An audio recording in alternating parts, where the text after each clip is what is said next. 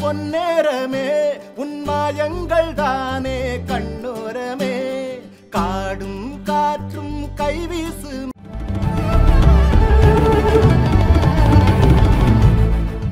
உலகம் போற்றக்கூடிய ஒரு நடிகர் நடிப்பிற்காகவே வாழ்ந்தவர் நடிப்பால் உருவாக்கப்பட்டவர்.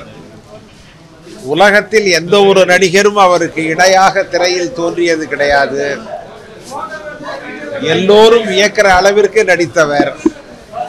அவரை போன்ற ஒரு நடிகர் காங்கிரஸ் கட்சியினுடைய சொத்தாக காமராஜர் அவர்களுடைய நெருக்கமான தொண்டனாக இருந்தது எங்களுக்கு மிகப்பெரிய பாக்கியம்.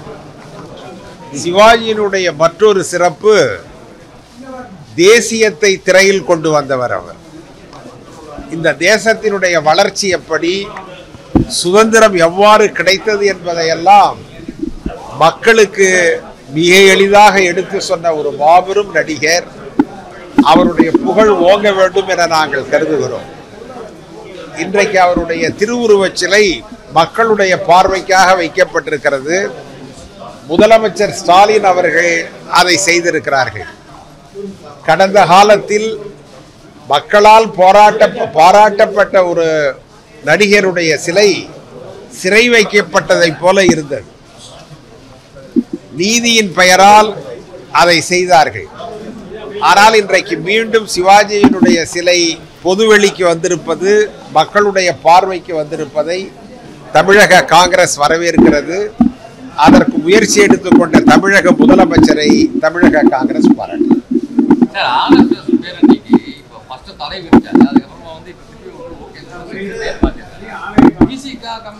நடக்கக்கூடிய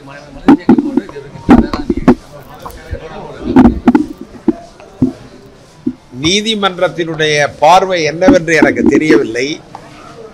நீதிமன்றம் எந்த வகையில் ஆர்எஸ்எஸ்னுடைய ஊர்வலத்திற்கு அனுமதி அளிக்கிறார்கள் என்பதும் புரியவில்லை.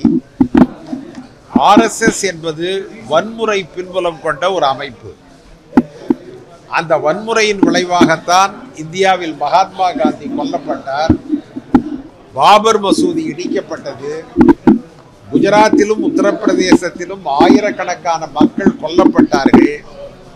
எனவே அதை போன்ற பின்புலம் கொண்ட ஒரு அமைப்பு ஒரு ஊர்வலம் நடத்துவதை நாம் அனுமதிக்கக்கூடாது இரண்டாவதாக அவர்கள் உத்தரவாதம் அளித்திருக்கிறார்கள் அல்லது அரசாங்கம் பாதுகாப்பு அளிக்க வேண்டும் என்று நீதிமன்றம் கருதுவது தவறானது. பாபர் மசூதி இடிப்பின் பொழுது கூட பாரதிய ஜனதா தலைவர்கள் அஃபிடவிட் தாக்கல் செய்தார்கள். நாங்கள் கரசேவை செய்யத்தான் போகிறோம். எந்த வன்முறைக்கும் இடம் கொடுக்க மாட்டோம். மசூதியை இடிக்க மாட்டோம் என்று சொன்னார்கள். ஆனால் நடந்தது என்ன? அவர்களுடைய ஒப்புதலை அரசாங்கம் அன்றைக்கு நம்பியது. மத்திய அரசாங்கமும் நம்பியது. மாநில அரசாங்கமும் நம்பியது. இந்த அமைப்பையே அவர்கள் நம்ப வைத்து ஆனால் இந்த அரசியல் சட்டத்திற்கு எதிராக நம்முடைய கலாச்சாரத்திற்கு எதிராக ஒரு இறை வழிபாட்டு தலத்தை அவர்கள் நாசம் செய்தார்கள். இன்றைக்கி தமிழக அரசு அதை யோசிக்கணும். தமிழக அரசு ஒரு பின்புலம் கொண்ட அமைப்பு நீதிமன்றத்தினுடைய ஒப்புதலை பெற்றிருந்தாலும் கூட சட்டம் ஒழுங்கம் என்பது மாநிலத்தினுடைய கடமை. எனவே மாநில அரசாங்கம் நீதிமன்றத்தை திரும்பவும் அணுக வேண்டும். திரும்பவும் அணுகி அதற்கு தடை விதிக்க வேண்டுமே ஒழிய அவர்களை வெளியில் நடமாட வைப்பது நல்லது அல்ல.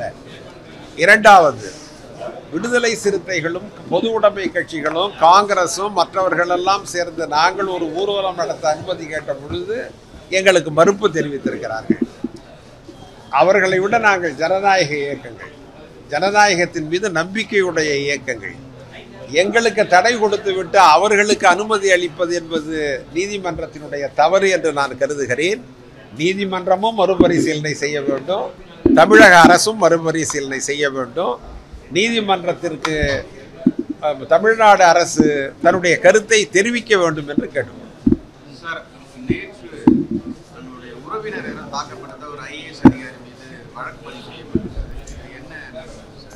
நானும் கேள்விப்பட்டேங்க. ஏதோ அவர்களுக்குள்ளார சிறு சிறு தகராறு நடந்திருக்கிறது. அது ஒரு பெரிய விஷயம் அல்ல. காவல்துறை நடவடிக்கை. ஐஏஎஸ் அதிகாரி மீது எஃப்ஐஆர் போடப்பட்டிருக்கிறது. ஃபர்ஸ்ட் ஒரு இன்சிடென்ட் சென்னையில் ஒரு ஐஏஎஸ் இப்போ ஒரு எஃப்ஐஆர் ஃபைல் பண்ணியிருக்காங்க அப்போ விஷயம்ன்றது ரொம்ப சென்சிட்டிவான விஷயம்.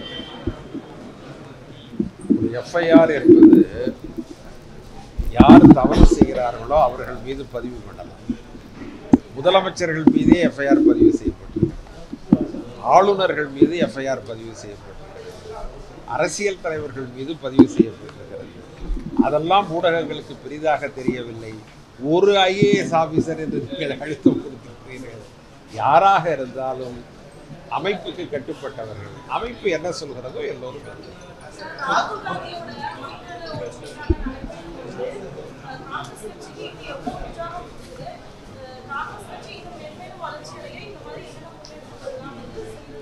நீங்கள் நீ- கன்னியாகுமரியிலும் ஊரிலும் கேரளத்திலும் கர்நாடகத்திலும் மக்களுடைய எழுச்சியை பார்த்திருப்பீர்கள்.